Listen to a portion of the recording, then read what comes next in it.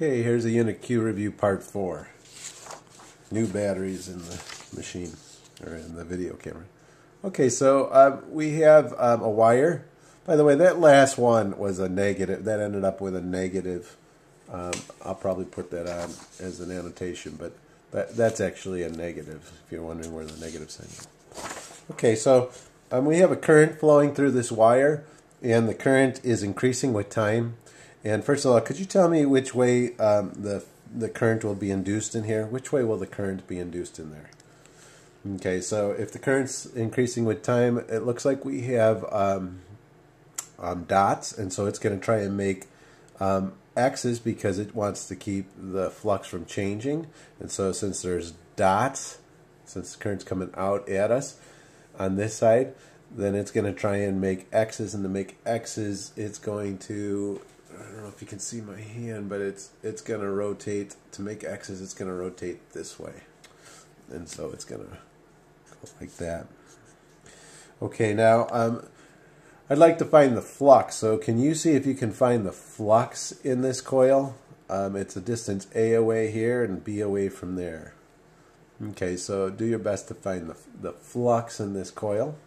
I'll see you in a bit. It's a long. It's long, so.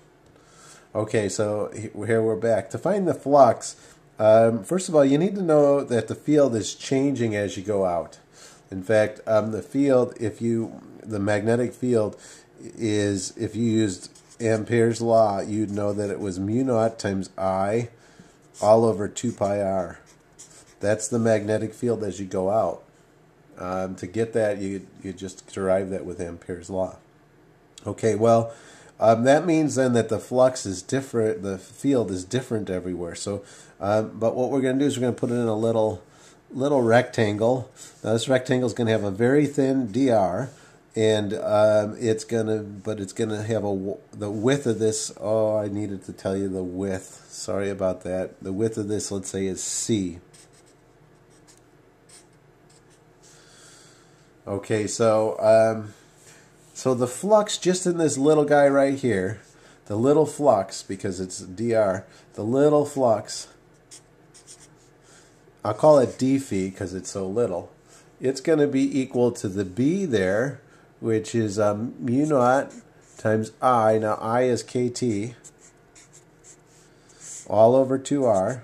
So that's the b times um, the the area. Now the area is a dA, so it's going to be C times dr. That's what the area is, C times dr. That's the little flux. Now to get the total flux then, the total flux through the hoop will integrate from um, R equals A to R equals B. We'll integrate this whole thing.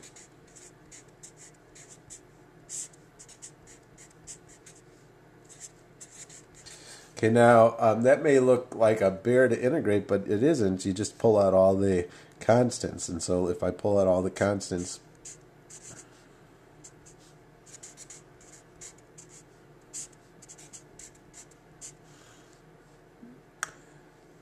um, I'm integrating with respect to dr, not with respect to t, so I can pull that t out.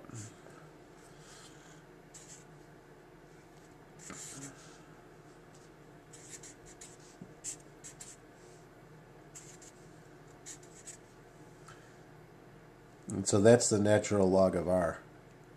So I'll put that over here. I'm going to come all the way over here and put it over here. So the flux is equal to mu naught k t c for 2 pi. And that's the natural log of b minus the natural log of a. I need to sneak some absolute value signs in there.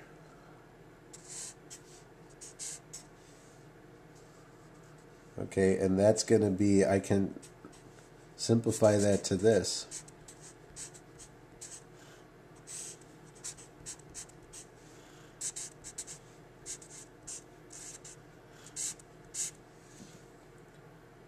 Okay, now Can you tell me um, what the EMF will be induced in there then? How, how much EMF will be induced in this hoop? Sorry about the last time about the C thing. Okay, tell me what the EMF will be if this is the flux. Okay, uh, maybe I'll try and get that done in the bottom of this paper. The EMF will just be the rate at which the flux is changing with time. So I'm going to take the derivative of this with respect to time. So you can pull this out of the integral, everything except time.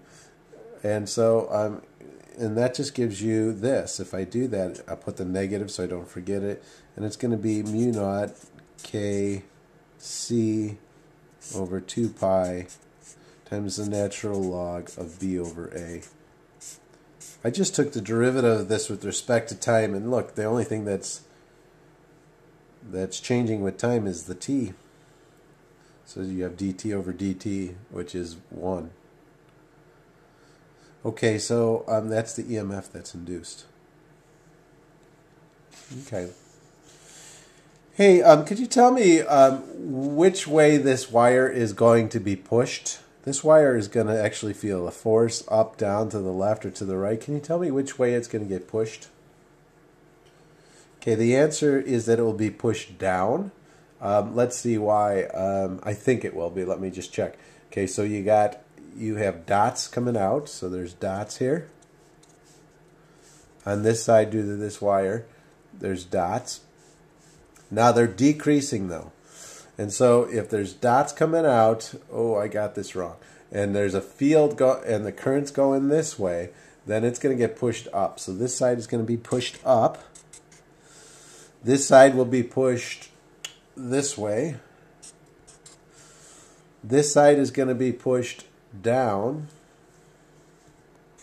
but not as much because it's in a weaker field. This field is stronger as you get closer to the wire. So this arrow is smaller than that. See how big that arrow is? And that's a small one. And these arrows cancel each other out. And so the net force is up. The net force is up on that one. Okay, let's try and get this last guy in here. As I pull this in, this is a wire. It's got a, a width W and a height H. As I pull this in, can you tell me um, which way the current will be induced as it goes in? Okay, so dots are going to, it's gaining dots, so it's going to try and make um, its own x's, and so it's going to have a current that's going to be induced this way. That's how it makes its own x's. Okay, then when it's on its way out of the field, incidentally, when it's in the field, completely in the field, there'll be no current because the flux isn't changing with time. But now, as it's heading this way, um, which way will the current be in here now? Okay, so it's it's um, losing dots, so it's going to try and make dots, and so it's going to go this way this time. Whereas this time it went, this one was clockwise, this one is counterclockwise. Okay, can you tell me which direction the force will be? There'll be a, a magnetic force on this hoop. Which way will the magnetic force be on this hoop? Okay, so um, if I just look at that spoke, the field is coming out at us, so that this one is going to be going to.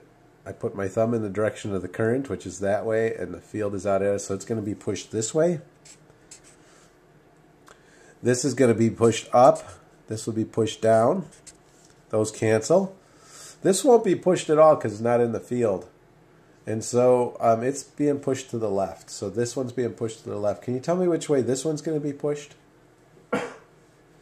Okay, this time um, this current is heading down.